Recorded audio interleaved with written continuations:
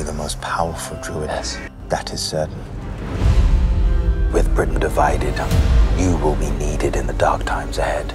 Uh, I'm not ready. The gods are gone, little druidess. With me! The gods are everywhere.